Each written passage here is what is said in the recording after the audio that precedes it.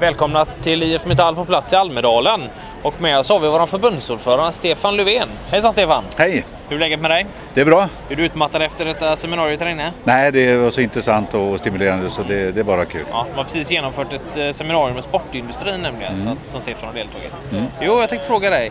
IF Metall kräver ju rättvisa. Mm. Vad menar ni med det?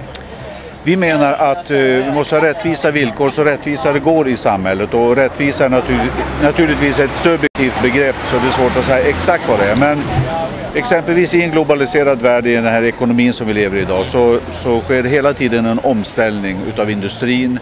Eh, folk utsätts för arbetslöshet och omställning utav, utav olika slag och då menar vi att de, när det är så, så måste man skapa så rättvisa villkor som möjligt. Så att inte bara exempelvis våra medlemmar i Industrifacket Metall, att de bara drabbas av detta. Utan ska ha schyssta villkor. Det ska finnas en bra arbetslöshetsförsäkring med bra villkor i. Det ska finnas en bra sjukförsäkring så att man kan klara sig om man behöver det, om man är arbetslös eller sjuk.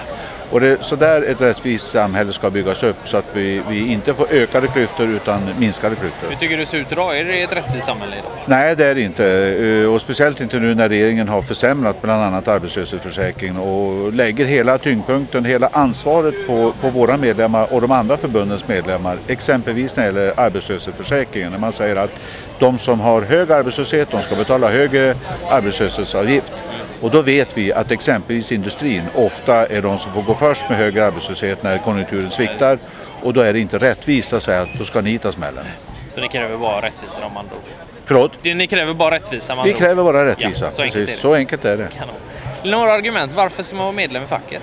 Man ska vara medlem i facket därför att det är det enda långsiktigt hållbara sättet för löntagare att tillvarata sina intressen och eh, att få rimliga löner, också det, någorlunda rättvisa löner, att få bra arbetsmiljö, att få arbetstider som inte sliter ut utan också se till att man kan ha ett familjeliv och ett socialt liv. Eh, Det visar sig över hela världen att det absolut bästa sättet för, för löntagare att få drägliga villkor det är att kunna verka i fria obundna fackföreningar, kunna sluta avtal med arbetsgivaren som vet, där vi vet att de här villkoren gäller när jag är i arbete. Det är det som är hållbart. Så din uppmaning är att gå med i facket? Man Man ska alltid vara med i facket. Det är det. Och man tjänar alltid på att vara med i facket. En del tittar på kronor och ören.